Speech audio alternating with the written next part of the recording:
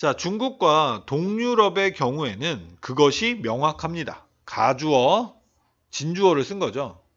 자, 시장 자유화가 많이 도움이 되었다. 음, 현재 완료를 썼네. 그러니까 지금까지도 도움이 된다는 뜻이지. 자, about 대략 1980 1998년까지는 동유럽, 동유럽의 민영화 과정 그리고 시장 경제의 시행은 진행되었다. 자, 이건 이제 약간 수동 느낌 나죠. 근데 자동사야. 음.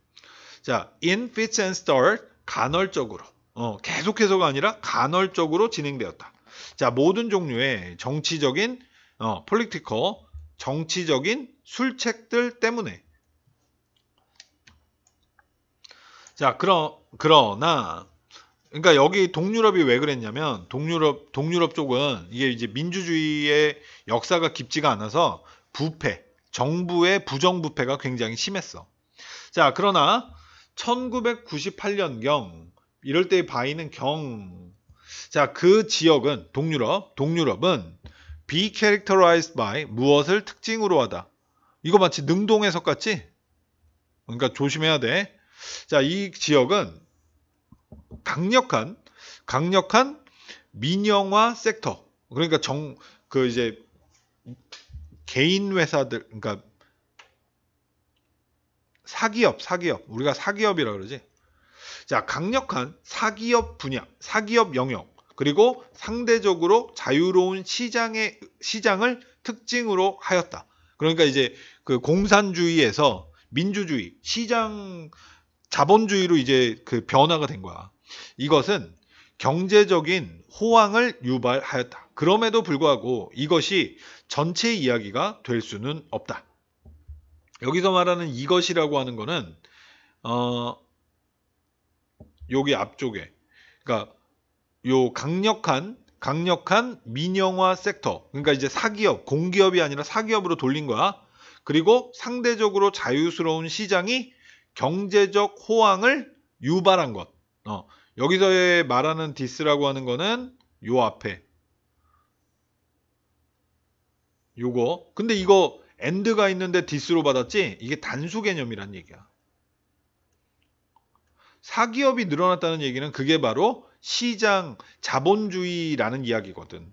그래서 요게 요걸로 받아주는 거야. 어? 이것이 근데 요게 경제적 호황을 이끌어낸 것. 그러니까 이건 앞의 내용을 받아주는 거야. 이게 전체 이야기일 순 없다.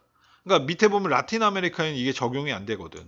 자, 남미는 라틴 아메리카는 또한 자유 자유롭다라는 얘기는 자유 시장주의야. 그러나 has been historically characterized by 역사적으로 아까 be characterized by는 무엇을 특징으로 하다 했죠?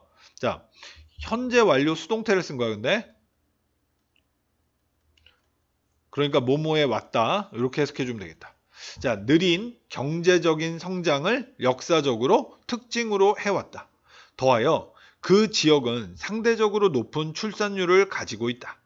그 결과, result, 그 결과, 자, 그것에, 그러니까 라틴 아메리카, 라틴 아메리카의 per 뭐뭐당, 사람당 부, 그러니까 인구 한 명당 얼마나 많은 그 부유하냐. 이 성장은 아주 눈에 띄게 느렸다.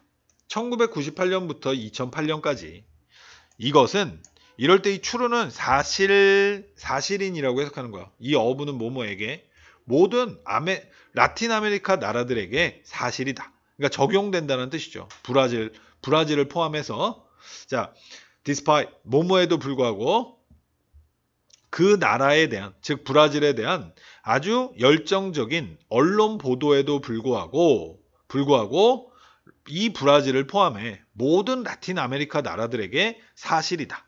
그러니까 요 글을 썼을 때쯤에는 브라질이 또 갑작스럽게 막 그 경제 발전을 하고 그랬던 시절이 잠깐 있었거든. 어, 그러니까 이제 언론에서 와 브라질 요즘 잘 나가요 막 이런 얘기를 한 거지. 어, 그거에도 불구하고 그렇다 라는 얘기야.